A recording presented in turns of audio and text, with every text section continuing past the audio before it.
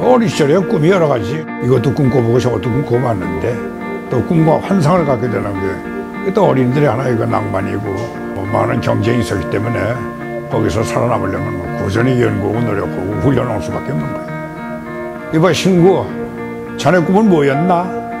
아주 어렸을 때 초등학교 다닐 때는 상당히 그 어려웠어요 형편이 그래서 그때는 그 돈을 많이 벌어서 집안이 편안하게 살까 하는 막연한 그 기대가 있었고 자라면서는 변해가지고 아나운서가 됐으면 어떨까 싶은 그런 꿈이 있었죠 자유스럽고 풍성하게 자기 표현을 할 수 있겠다는 생각에 그 배우를 선택해서 지금까지 왔죠.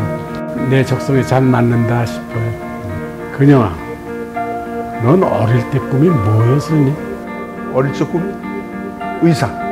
내가 이제 부모님을 향해서 의사가 돼서 돌봐드려야지 그 생각을 했다가 전국 고등학교 경연대회에 참가를 했었죠.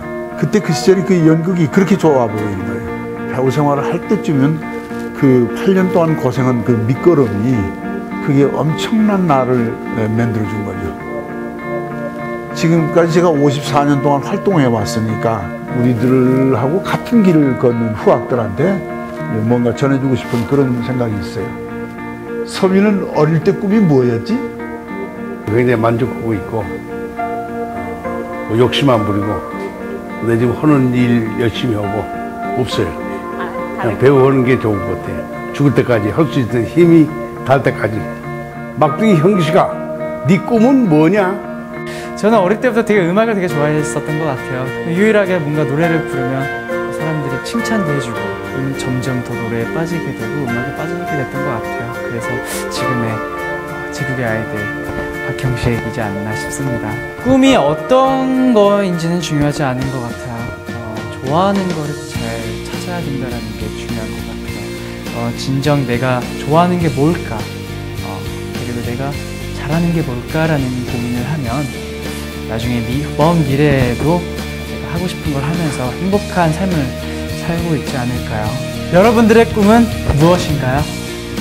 전 기사가 될래요. 그래 그거야. 난 자네 용기가 마음에 들어. 정말로 감동적이었어. 정말로 해내자.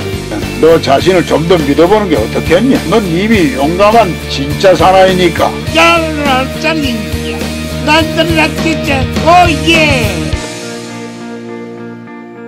저스틴 12월 31일 극장에서 만나요.